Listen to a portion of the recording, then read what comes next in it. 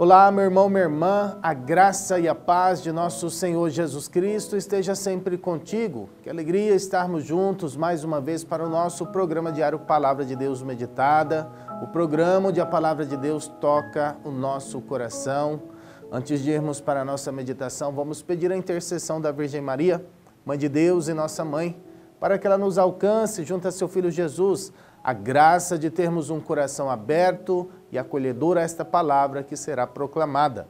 Rezemos juntos. Ave Maria, cheia de graça, o Senhor é convosco. Bendita sois vós entre as mulheres, e bendito é o fruto do vosso ventre, Jesus. Santa Maria, Mãe de Deus, rogai por nós, pecadores, agora e na hora de nossa morte. Amém. Caríssimo irmão, caríssima irmã, que bom estarmos juntos mais uma vez para meditar a palavra do Senhor. Quero convidar você a pegar a sua Bíblia lá no livro do profeta Isaías, no capítulo 49, versículos de 1 a 6. Livro do profeta Isaías, capítulo 49, versículos de 1 a 6. Vamos ouvir aquilo que o Senhor tem para nós? Ilhas, ouvi-me, povos de longe, prestai atenção. O Senhor chamou-me desde o meu nascimento. Ainda no seio de minha mãe, ele pronunciou meu nome. Tornou minha boca semelhante a uma espada afiada. Cobriu-me com a sombra de sua mão. Fez de mim uma flecha penetrante, guardou-me na sua aljava e disse-me: Tu és meu servo Israel, em quem me rejubilarei. E eu dizia a mim mesmo: Foi em vão que padeci, foi em vão que gastei minhas forças. Todavia meu direito estava nas mãos do Senhor, e, o meu, e no meu Deus estava depositada a minha recompensa. E agora o Senhor fala. Ele que me formou desde o meu nascimento para ser seu servo, para trazer-lhe de volta Jacó e reunir-lhe Israel, porque o Senhor fez-me esta honra, e meu Deus tornou-se minha força, e disse-me: Não basta que sejas meu servo para restaurar as tribos de Jacó e reconduzir-me os fugitivos de Israel Vou fazer de ti a luz das nações, para propagar minha salvação até os confins do mundo. Palavra do Senhor, graças a Deus. Caríssimo irmão, caríssima irmã, continuando o nosso percurso dentro desta Semana Santa, a liturgia apresenta para nós este outro trecho do livro do profeta Isaías, onde o próprio servo de Deus, o próprio servo sofredor, ele faz sua autoapresentação. O Senhor chamou-me desde o meu nascimento. É tomada de consciência de que Deus nos chama desde o nosso nascimento. É tomada de consciência de que Deus está conosco desde o nosso nascimento. E hoje nós somos convidados a tomar esta consciência em nossas vidas. Nós somos convidados a abrir os nossos olhos para enxergar que em todas as circunstâncias Deus está conosco e o nosso direito está nas mãos do Senhor.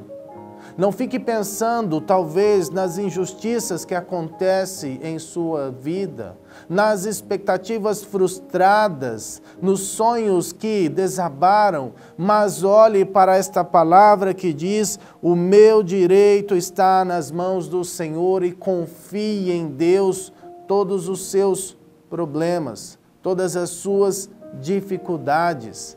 Lembre-se da promessa que o Senhor fez para nós, de que Ele faria de nós um povo santo, sacerdotal, um povo eleito, para sermos luz das nações. Nós participamos deste povo, nós participamos desta luz para os povos, meu irmão, minha irmã. Aquela aquela projeção, aquele desígnio que foi para nosso Senhor Jesus Cristo de estabelecer a salvação para todo o mundo, até os confins do mundo. Isto é para cada um de nós, isto é para você, é para mim. E dentro desta Semana Santa, mais ainda, nós estamos vivendo a grande semana de nossa fé, a grande semana do derramamento da graça do Senhor, a grande semana onde esta promessa se cumpre, onde a graça de Deus, a salvação do Senhor é levada a todo o mundo e onde a partir dela nós nos tornamos missionários e missionárias do Senhor. Por isso, meu irmão, minha irmã, neste dia que a igreja estabelece para nós, dentro da Semana Santa, como o dia onde a gente precisa tomar consciência da nossa condição de servo de Deus, consciência desta condição de que o nosso direito está nas mãos do Senhor, consciência desta condição de que nós participamos desta salvação que é estabelecida para o mundo todo, nós somos convidados a viver esta semana, viver este dia, viver a nossa fé da forma adequada.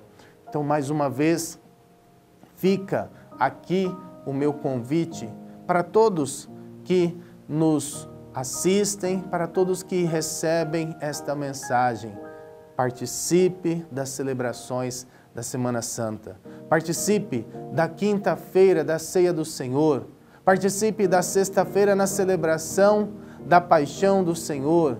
Participe da vigília pascal no sábado de Aleluia. Participe das missas no domingo da Páscoa da Ressurreição do Senhor, para que nós também possamos ser dignos de sermos servos e servas de Deus. Vamos então pedir a bênção do Senhor para que nós possamos viver de forma autêntica e profunda a nossa fé nesta Semana Santa e nestas celebrações. O Senhor esteja convosco, Ele está no meio de nós. Abençoe-vos, Deus Todo-Poderoso, Pai, Filho e Espírito Santo. Amém. Louvado seja nosso Senhor Jesus Cristo, para sempre seja louvado.